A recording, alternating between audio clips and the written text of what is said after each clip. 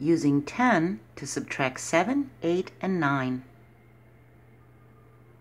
We can use a 10 frame and counters to help us subtract 7, 8, or 9.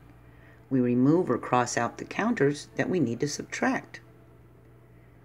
So here we have 12 green counters. We need to subtract 7.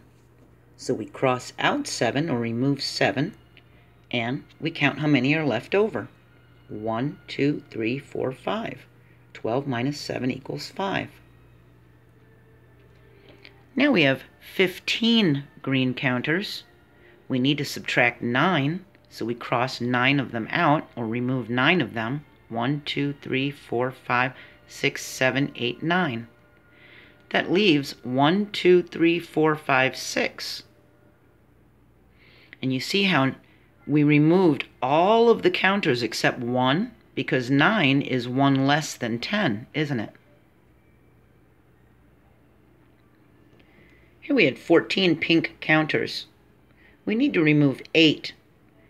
8 is 2 less than 10, so that's going to leave 2 left over in our 10 frame, isn't it?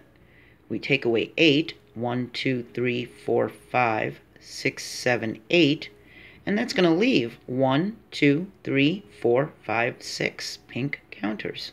14 minus 8 equals 6.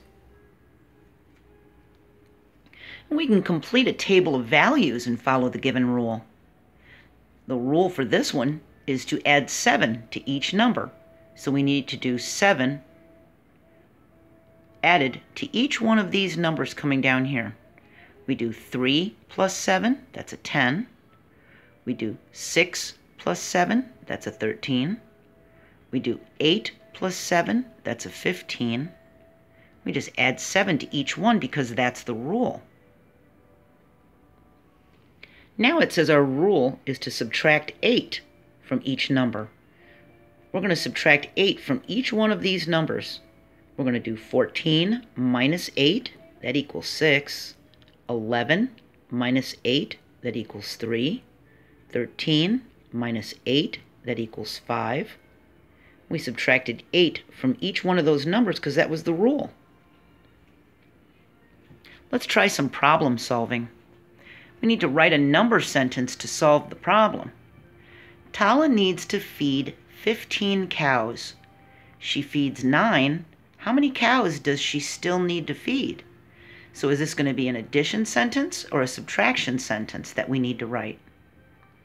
Let's look for the clue words and important numbers. We know that 15 cows is how many there were. That's important.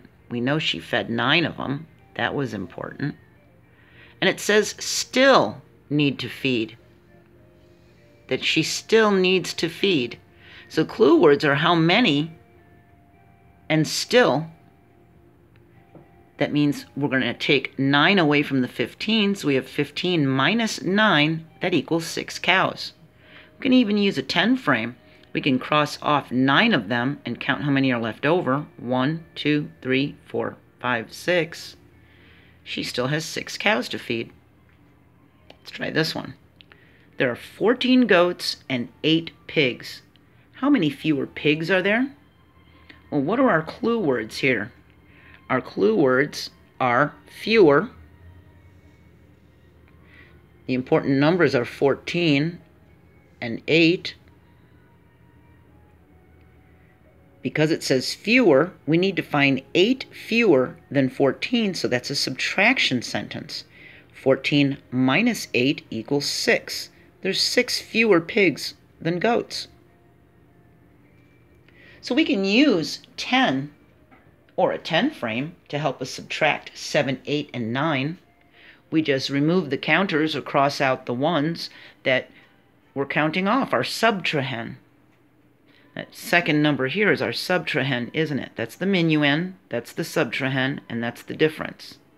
So we just cross off whatever the number of the subtrahend is.